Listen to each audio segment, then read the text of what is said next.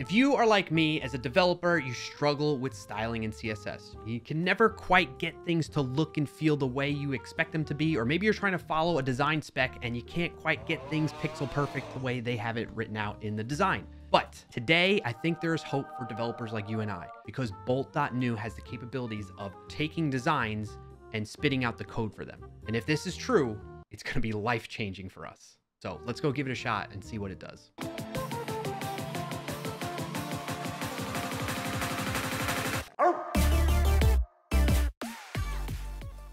All right, so first off, we need some type of design in Figma that we want to try and implement into code and get the CSS and HTML for it. So I went over to Figma. They have free website templates that you can check out. And just scrolling through here really quick, I want to maybe implement like this one here, a report dashboard, analytics dashboard. So I'm going to click on that and then it's going to let me open in Figma.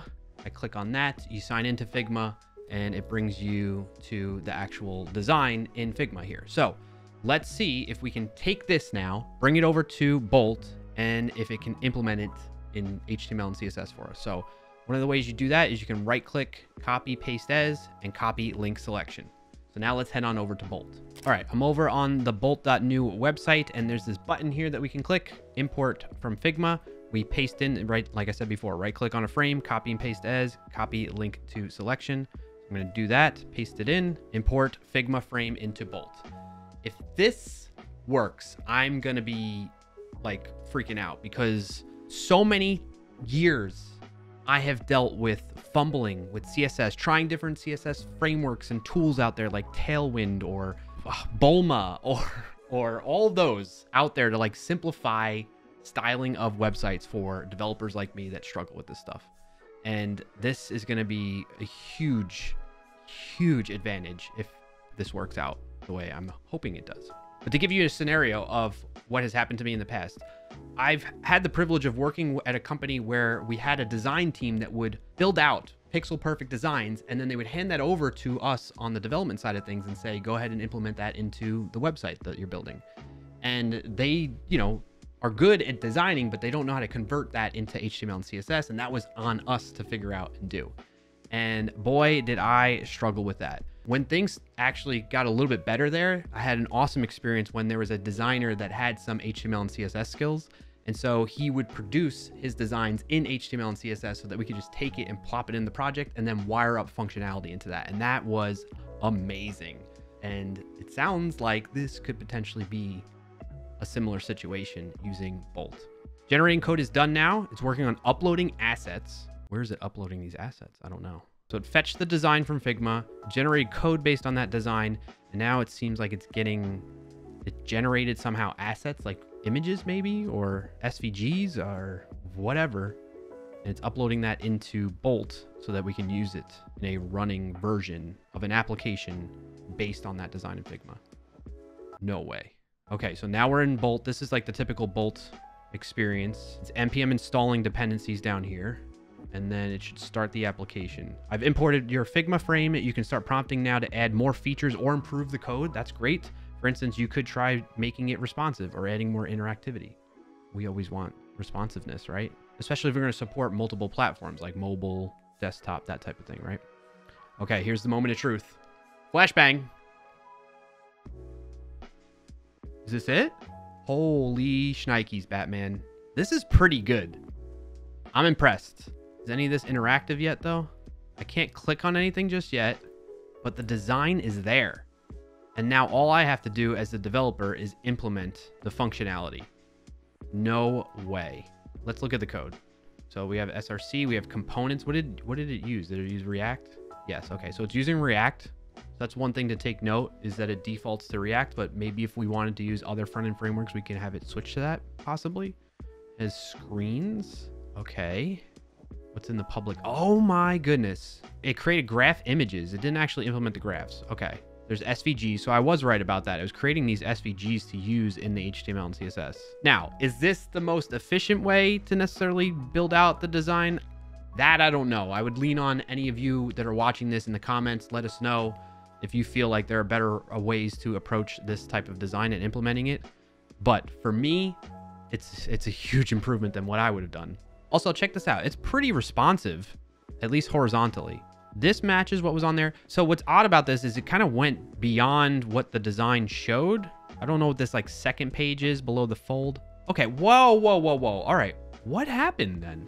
It like implemented it multiple times. Okay, this is like the one that matches the design more closely. This third card, if you will. I'm, I'm going, I'm calling them cards because of like this little circular corner border radius going on here.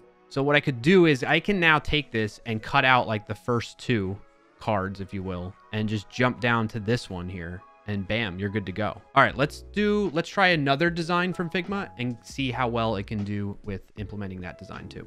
Okay, I found one that caught my eye, a Steam redesign. All right, I'm gonna open this up in Figma. Flashbang. So look, we can create the footer, notifications. All right, so I'm gonna take this, the client store basically from the Steam app.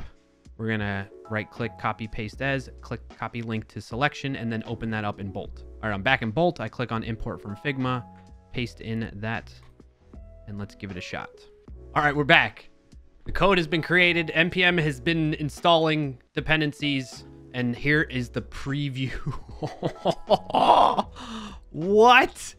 That's pretty, that's, I keep saying this. I know I sound like a broken record. That's pretty good. That's amazing. Oh, whoa, whoa, whoa, whoa. All right, take it back a little bit. What is with that? What's going on there?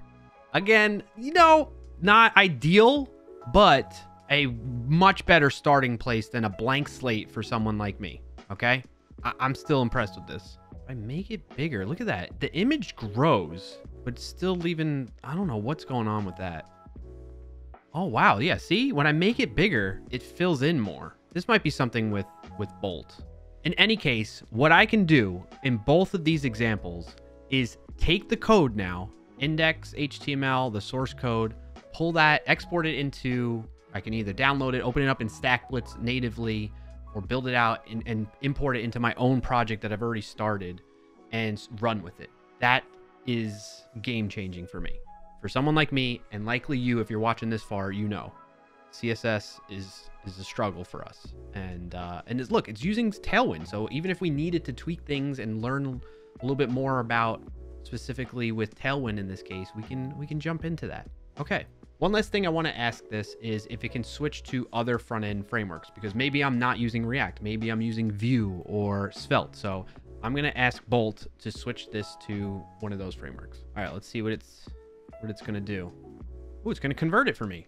To update the necessary files and dependencies. See it right in the code real fast. It's going to app.vue.